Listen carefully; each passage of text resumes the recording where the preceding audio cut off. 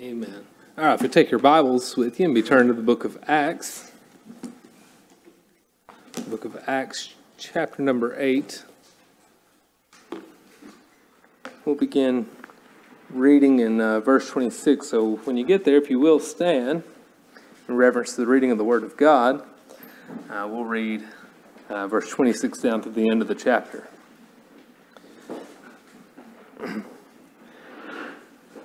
And it says, And the angel of the Lord spake unto Philip, saying, Arise and go toward the south, unto the way that goeth down from Jerusalem unto uh, Gaza, which is desert. And he arose and went, and behold, a man of Ethiopia, an eunuch of great authority under Candace, queen of the Ethiopians, who had the, the charge of all her treasure, and had come to Jerusalem for, uh, for to worship, was returning and sitting in his chariot read, uh, read Isaiah the prophet.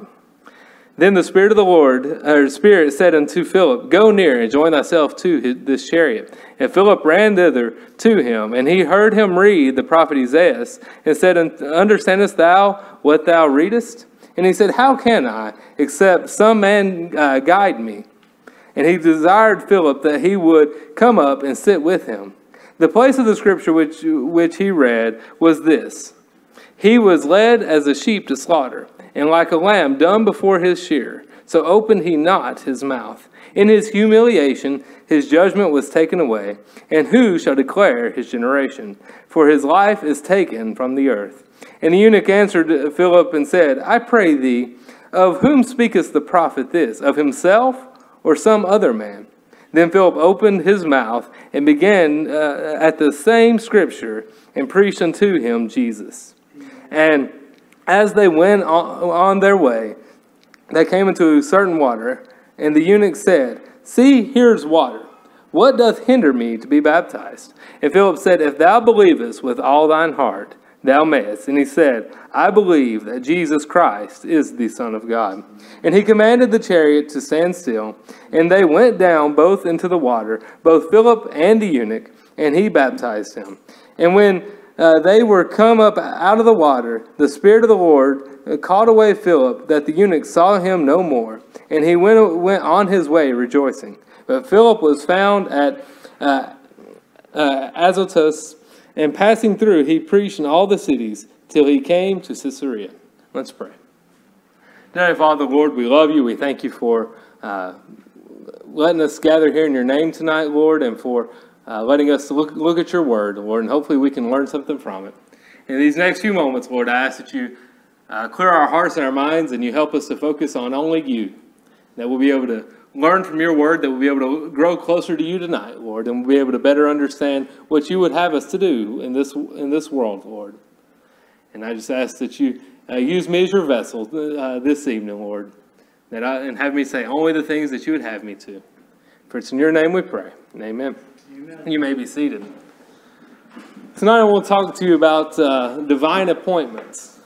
And uh, Philip here, it's uh, one of my favorite Bible stories. I say that often because I guess I have a lot of favorite Bible stories, but uh, uh, I, this one I, I, do find very intriguing. It, we pick up in the story uh, in chapter number seven. You know, the or in the in the in the book of Acts, the the church begins to grow.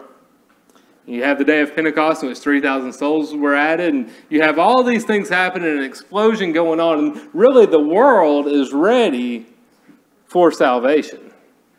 Because they've been commanded in chapter 1, Jesus commanded uh, his apostles as he was ascending before them to go into all the world but, but he told them Jerusalem, Judea, to Samaria, to the uttermost parts of the world. Told them to go everywhere preaching the gospel. Well, the problem was they didn't go everywhere. They stayed there in Jerusalem. And because and people in Jerusalem were getting saved, and how great is that? But that's but God had commanded them to not stay in Jerusalem, but to take the gospel to the uttermost parts of the world. So, uh, so by then, God allowed persecution to hit the church. In chapter number seven, we find uh, the first martyr recorded being Stephen. And that's where we found uh, Saul of Tarsus, who was there and he was consenting to his death. He was there. He held the coats. He's the one who gave the okay to stone him. He was very much involved in it. And then after that, uh, we says whenever the, the Bible really begins to talk about persecution in chapter number eight, and the, and the Bible uses the words that the that Saul of Tarsus wreaked havoc on the church. You know, and I and, and in my own life, I have to look at the things that that go that where God has to correct me and the bad things that I go through because I'm hard headed and won't listen. It, it happened. It, it's happened in my life, and we won't get into it. But whenever you do the things that make you comfortable, I'll give one quick illustration. I always make good grades in school. I'm not trying to uh, sound uh, trying to make myself as a genius or anything, but. Uh, but I was called. No, I'm just kidding. Uh, but uh, everyone always said, you know, you should be a doctor or a lawyer or any of these things. And I think if you want me to be honest with you, I think uh, it may have hurt some feelings when I said that I wanted to be a preacher. But I began to listen to some of those people around me. And if you ever want to make a mistake as uh, as a preacher, let them listen to the to the people who introduce you and believe everything that's being said about you because you know they're only going to share the good things. See, you know the low down, dirty, rotten you. But I began to listen to a lot of these people, and to this point, I had never had any issues with blood or broken bones. I've never broke a bone, but things like that didn't bother me. But as I began to listen to these people, and I decided, you know what? You know, maybe they are right.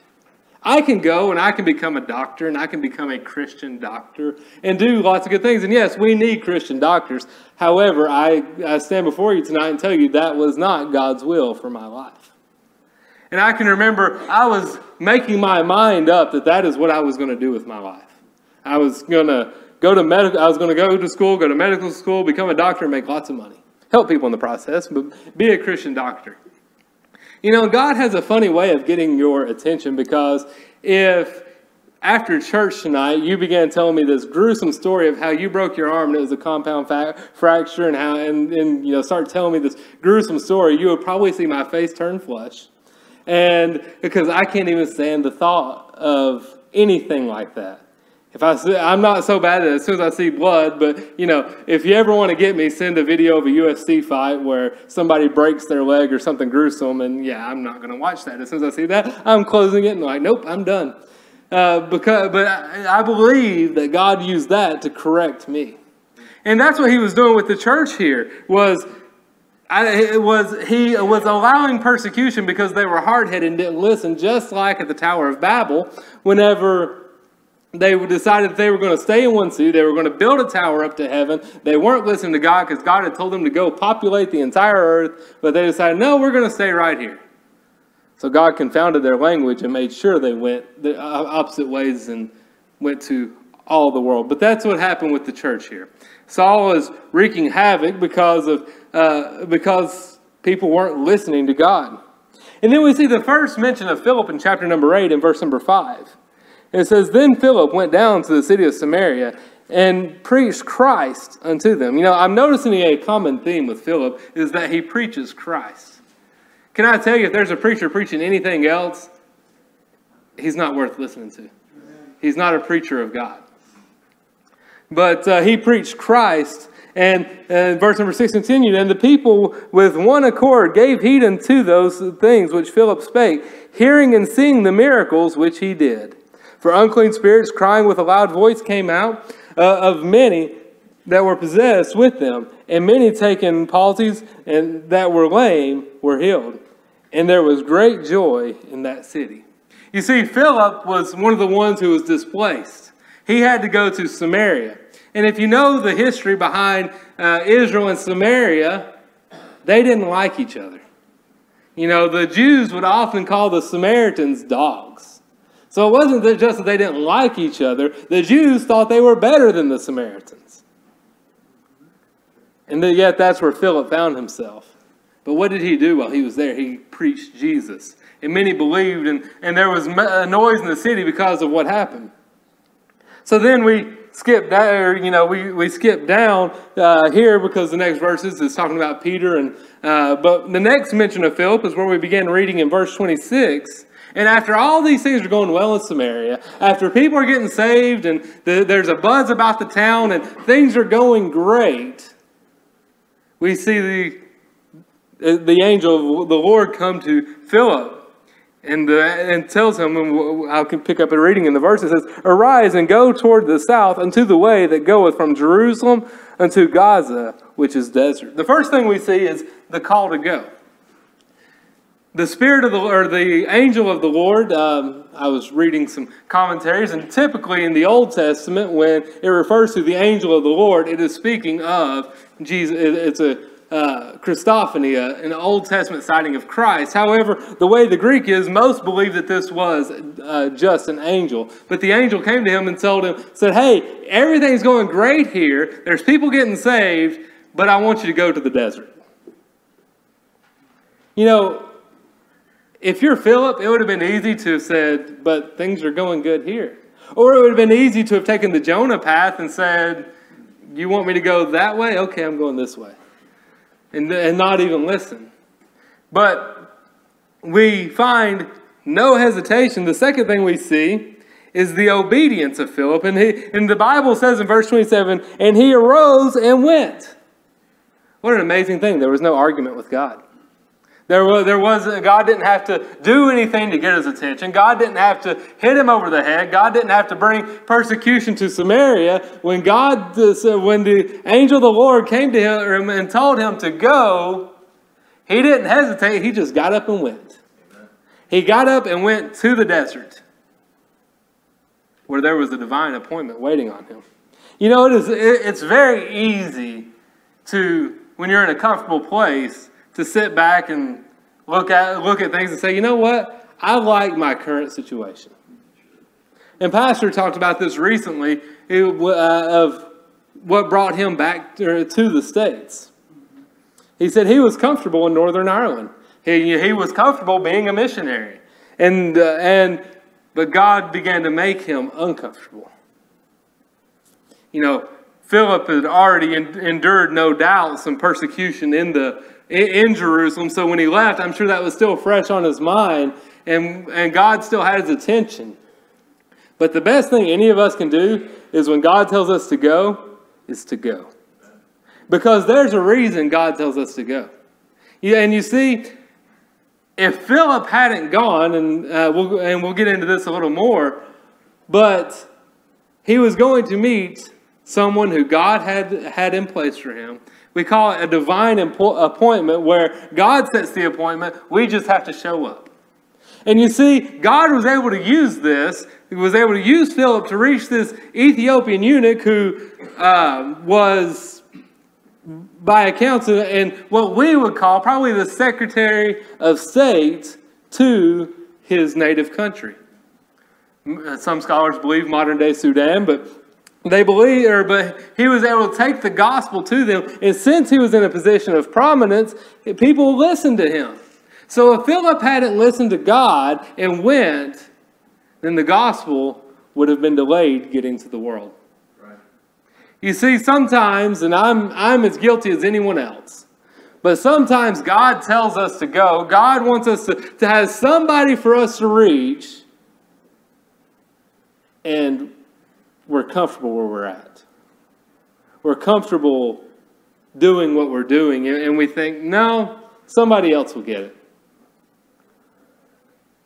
I should have mentioned it in prayer requests, but I have a customer who's uh, only 43 years old and has had just a multitude of health issues.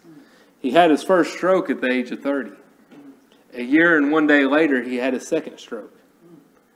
And then Uh, I think five years ago, he went to the dentist for a routine checkup, and the dentist found a spot that, that concerned her, and she and she began to do research, and she found that it that she believed that it was this specific kind of very rare cancer, and so she sent him on to somebody more experienced than than herself, and they they checked checked him out, and sure enough, it was this very rare cancer, so rare that Vanderbilt Hospital had never seen it.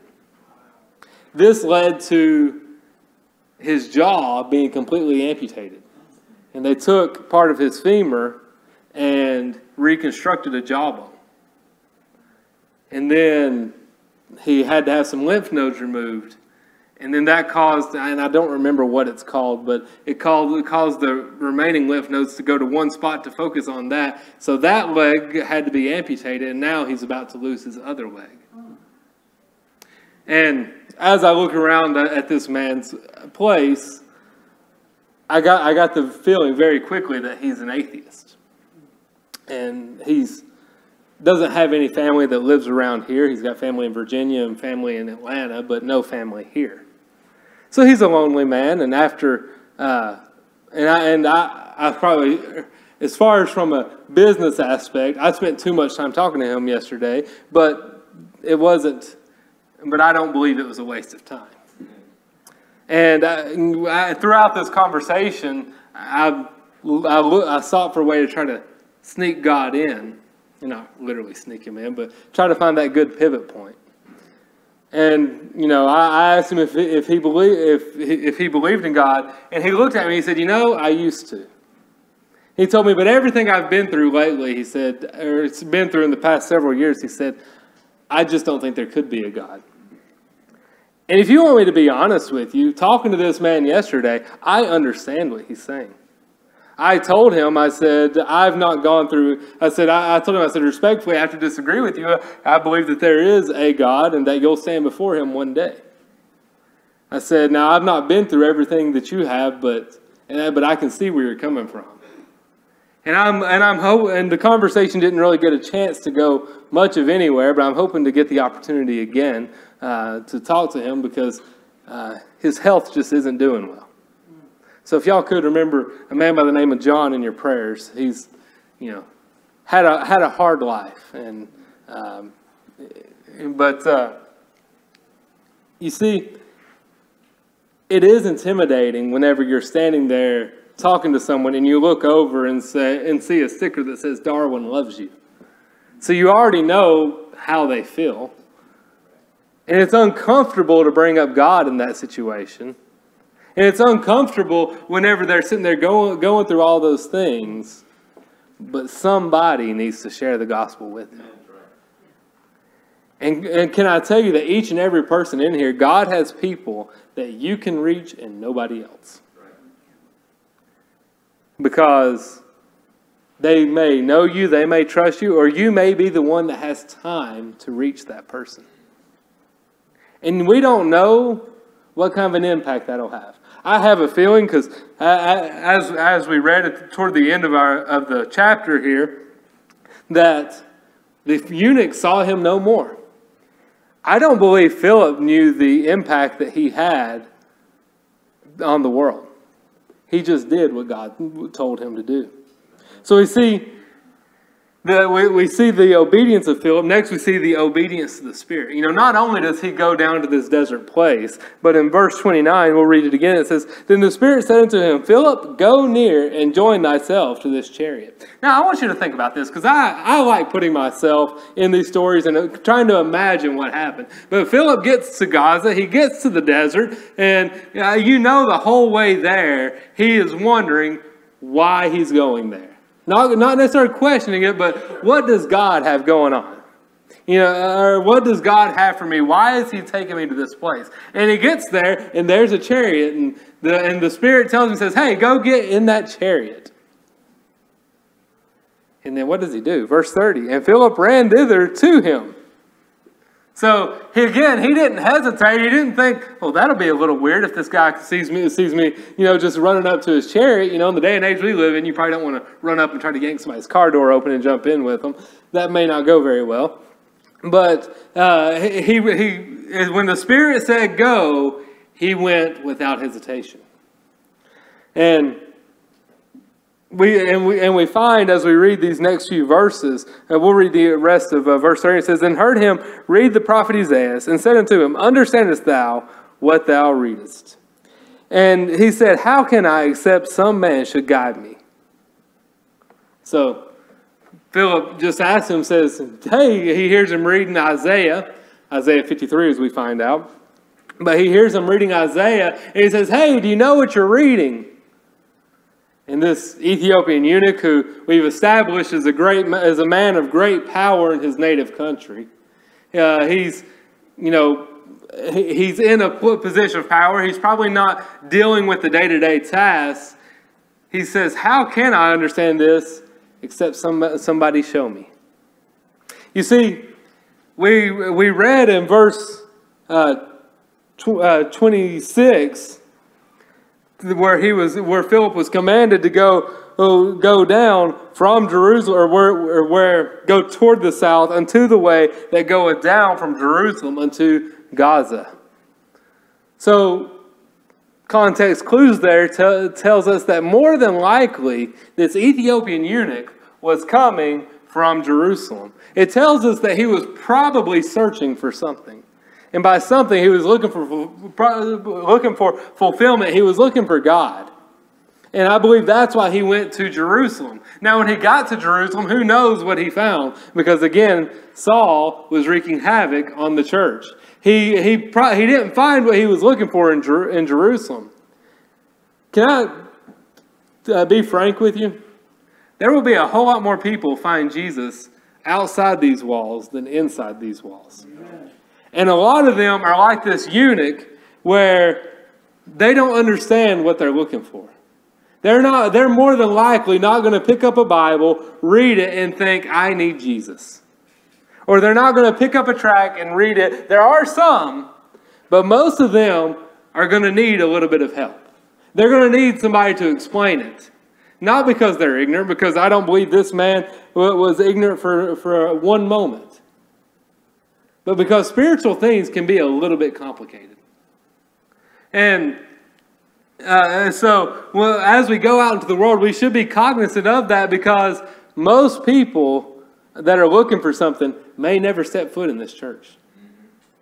There's a lot of lost people out in the world who think nothing, they think the only people that go to church are goody two shoes. They don't get out and work. They don't live in the real world. And they think they're judgmental and think they're better than everybody else and they're hypocrites and they will not dare step one foot inside the church.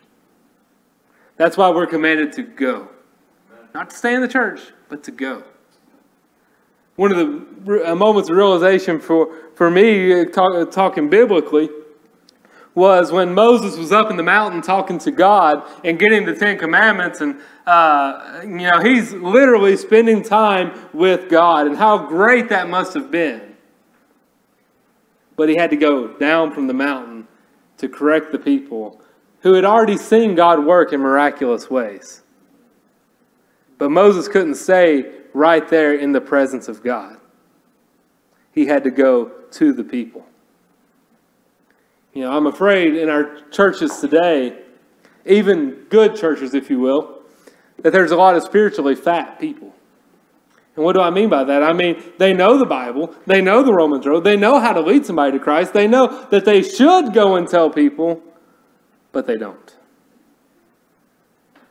But the, the eunuch here, he's struggling to understand what he's reading, and we get down and uh, to uh, the to the end of verse 34 and or, or to verse 34 it says and the eunuch answered philip and said i pray thee of whom speaketh the prophet this? Of himself or of some other man? Because he's just reading about how the, the he's reading about the crucifixion hundreds of years before the crucifixion happened so he doesn't understand. Again, he, as you would say, as we say around here, he ain't from around here, and he didn't know everything that had just happened. He didn't know about Jesus who had been crucified, but he knew that the prophet was speaking about someone uh, that was going to change the world. But he didn't understand if it was the prophet speaking about himself, Isaiah, Isaiah being the prophet, or about someone who was coming later. So so we find Philip helping him. We find Philip explaining the Bible to him. And we find Philip, it says in verse 35, Then Philip opened his mouth and began at the same scripture and preached unto him Jesus. So you see, he didn't try to take him somewhere else. He used that scripture, he used Isaiah, and he, he explained it to him and preached Jesus unto him. You know, there's a lot of feel good messages in the Bible. You can take verses of the Bible, such as Romans 8 28, which says, All things work together for good to those who love the Lord, those who are called according to his purpose. And you can twist that scripture and convince somebody that everything is going to work out great in your life. You can, look, you can take Jeremiah 29 11 and, and build, puff people up and make them think that, that hey, as long as, eh, as long as you claim God, everything is going to go fine and dandy in your life. Except whenever you start to find the people who were close to God, such as the apostles, I don't think any of them died a dignified death. You look at Paul after the, the transformation of Saul to Paul, and he was beaten, drugged, stoned, uh, and then eventually beheaded and in prison for years. How would you like to look at him and say, hey, everything's going to go good, you're just not naming it and claiming it? But the, the important thing here was that Philip preached Jesus. You know, there's going to come a day when the only thing that matters, and I'm going to tell you that day is today, but there's going to come a day at, a judgment when the only thing that matters is do you know Jesus as your Savior? You can make all the money in the world that you want. You can have all the nice things here on the earth that you want. I referenced it Sunday, but you could, you, we can go to Luke chapter 14 and read about the rich man and Lazarus and how the rich man fared sumptuously and he had all the fine things. I'm sure he had the nicest chariots around and he had the nicest horses and the nicest house and, and all these things.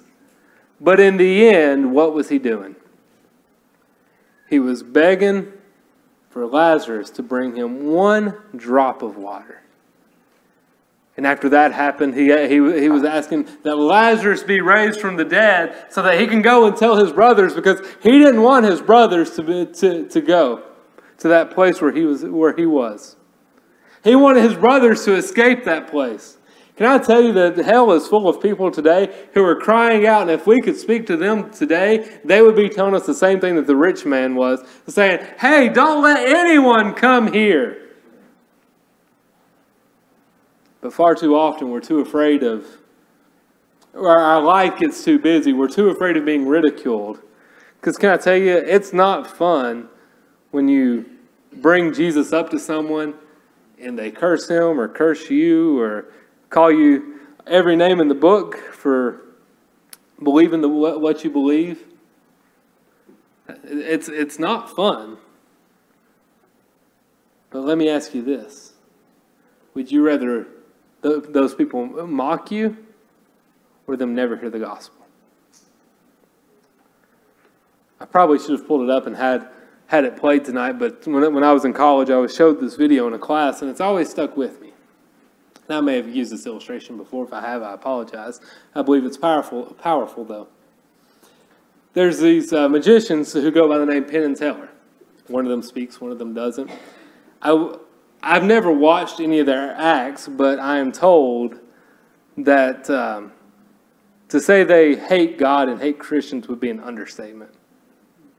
That they constantly blaspheme God, or the one that talks uh, does, and they make fun of Him, and you know they make fun of you if you're so simple as to believe in something so foolish. But this video that I'm talking about, uh, again, it's probably, I believe it's Teller, but don't hold me to that, who, who talks.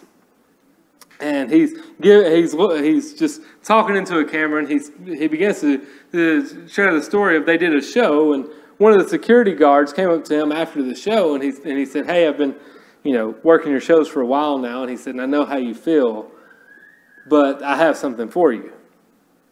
And he looked down, and it was a New Testament. And what really caught this this this uh, magician off guard is he said, "This is a really nice guy," and he said, "Now you know how I feel about God." He said, "But this was, was such a nice guy and everything." He said, uh, "You know, I took it and I appreciated it," and he and he kept going back to what a nice guy he, he was. And then he stopped and he, he said, "Again, you know how I feel about God."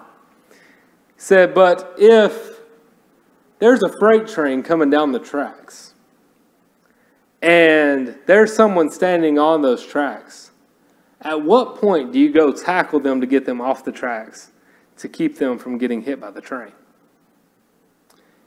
And he said, and yet, according to Christians, there's something much worse than a freight train coming down the tracks, and you stay quiet about it. He said you should do everything you could to share, to share the gospel. And again, this is from a devout atheist, someone who spits in the, in the, uh, in the face of God about it. And he is telling, uh, telling anybody who watches the video that, they're, that how wrong they are if they don't share the gospel. Because again, all that matters in the end is do you know Jesus?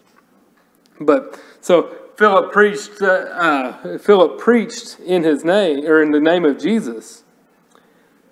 And then in verses 36 and 37, we find the acceptance of the gospel. And it says, And as they went on their way, they came into a certain water. And the eunuch said, See, here is water. What doth hinder me to be baptized? And Philip said, If thou believest with all thine heart, thou mayest. And he answered and said, I believe that Jesus, Christ, is the Son of God. What a powerful statement we find there. You know, because just or we don't know how much time has passed, but we know that uh, just a few verses prior, this eunuch is, is searching for something. I love to hear stories. I believe Pastor has one about about uh, somebody, a lost person, praying to God, and, you know, uh, looking for a sign, looking for Him, and then somebody appears to share the gospel with them. I've heard stories like that so many times, and, how, and how it always warms my heart. But I do wonder how often that prayer is made, and maybe I missed the call. Where somebody is desperately searching, they're wanting to find God, but no one comes. But here, that, that wasn't the case. And in these short few verses, we find where this, this eunuch has reached the point to where he says, Hey, here's water. What's keeping me from being baptized? And Philip, again, shared the gospel, and he said, If you believe with all your heart, you can. You know, one thing I'm very careful of when I share the gospel is to make sure the person understands. Because there's been too many Christians with good intentions that almost have, hey, do you want to go to heaven? Well, of course. You know, who doesn't want to go to heaven? All right, we'll say this prayer. And I'm not preaching against the sinner's prayer tonight. I, I, I promise you I'm not. But if all they did was say a prayer without believing in their heart, then all they did was say a prayer. Just like if you believe that water is going to get you saved, or if someone believes water is going to get you get them saved and they get baptized, all they did was get wet. But you, salvation isn't just this feeling. It's not say these words or put this much money in the offering plate or do this many Hail Marys or you, you pick whatever good deed it is. It, it, it's not, never anything like that. Salvation is a heart matter. Salvation is believing in your heart. Because if you, because if you miss that, then you're lost. But we find Philip, or, or this Ethiopian eunuch, getting saved and then following the Lord in believers' baptism, which is very important, I believe, to growth. And then at the end of the baptism, in verse 39, we see, and when they, they were uh, come up from the water, the Spirit of the Lord caught away Philip, and that the eunuch saw him no more. And he went on his way rejoicing. You see, the eunuch, something changed in his life that day. And even though he didn't see Philip ever again, he went on his way rejoicing because of the change that had taken place in his life. Another thing to be careful of when you're out soul winning is winning that, is winning that person to yourself. uh, I don't remember who it was, but somebody said to me Sunday morning, uh, what a good crowd we had. That usually when a pastor's out of town, doesn't matter to the church, but when a pastor's out of town, the attendance is down. And my wife and I were discussing that because that's been my experience in church as well. Is pastors out of town, less people come to church. But whenever that is the case, I wonder, and I'm not trying to preach against anybody, but I wonder what their motivations for church is. Because it shouldn't matter who's standing behind this pulpit. You should want to be at church if you're a child of God. And you should want to hear the Bible if you're a child of God. You should want to fellowship with other godly people if you're a child of God. It should, again, it shouldn't matter if the pastor's here or not. So we got to be careful in winning people to the Lord, not ourselves. Because I can't save anybody. If somebody is counting on me to get them to heaven, I'm sorry, I can't even get myself there. If I can't get myself there, there's no way I can get you there. There's only one person that can do that. You're not going to get to heaven and ask somebody, hey, how did you get here? And, there and they say, well, I did this. No. Everybody in heaven got there one way, and it was by the blood of Jesus, and they're, and they're trusting in Him to get them there. Then, lastly, and we're done, we see the continuing of Philip's ministry. We began in chapter 8 and verse number 5, where we saw Philip going to Samaria and how he, the way I read it, turned, the, turned Samaria upside down for Jesus. And how there was a buzz about the city, and then it goes from that to him going to the desert in the middle of nowhere and finding one man in a chariot, and this one man getting saved. But then, even after that, in verse 40, we, we find, But Philip was found at uh, Azotus, and passing through, he preached in all the cities till he came to Caesarea. You see, he didn't stop there. The whole way back to Caesarea, he's, he's telling everybody about Jesus. He's telling everybody how they can get to heaven. He's telling everybody the most important thing that they can find out. You see, I've been taught my whole life, and I believe it to be true. If you're here on this earth, God has a purpose for you. If He didn't have a purpose, there would be no purpose in you being here. So if you're still here, God has something for you to do. And Philip didn't get caught uh, when, uh, when in verse 39 we saw that he was caught away of the Spirit. He didn't get taken to heaven. No, he just went on his way and was continued preaching in the name of Jesus. The whole time we're here, let's never get too important to stop preaching in the name of Jesus. It doesn't matter if it's to one person or to hundreds of people or thousands of people or whatever. God has somebody out there that still needs to be saved. And we you often hear people talk about end times and who knows if we are getting close to the end of times to the rapture. I have no idea. I'm not going to pretend to know. But if it is wrapping up, then our time's running short. And it should be our job and it should be our motivation to take as many people as we can to heaven. Not because of what I did. Not so I can say, hey, look at me, look what I did. Because again, if I'm doing that, I don't know how many converts that I, that I have that God actually has. But even after a big victory, we're still to continue preaching the name of Jesus. It's easy to get discouraged. You see, uh, see it time and time throughout the Bible. One of the most notable ones being Elijah.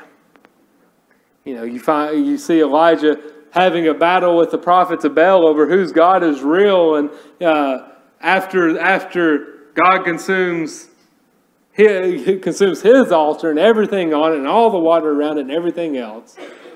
And Elijah has this big victory. You find him running away because he was afraid of Jezebel and hiding and saying, I'm the only one left. Can I tell you, he wasn't the only one left, But if he was the only one left, that doesn't change his mission. Just like if you're the only believer around, that doesn't change your mission. Because we are to continue until we're not here anymore. That is our job here on this earth, is to continue. We'll have a word of prayer and we'll close. Dear Lord, we love you. We thank you for the example of Philip here and the story of the Ethiopian eunuch, Lord. And I ask that you help use it to help uh, motivate us to reach people in your name, Lord, to go and to tell others about you and to hopefully see people get saved, Lord. Again, not for our honor or glory, because uh, our honor and glory doesn't mean anything, but Lord, so that they can know you and that they can find salvation in you and that they can know you. As, as we've previously talked about, the reward for knowing you isn't heaven, the reward for knowing you is knowing you. And Lord, I just ask you help us to all grow more uh, soul cognitive and to be reminded uh, of our mission every day. Lord, I ask that you help us as we go our separate ways tonight, as we go back to the mission field, Lord, that we find somebody who's looking for you and share the gospel with, with them, Lord. We ask these things in Jesus' name, and amen.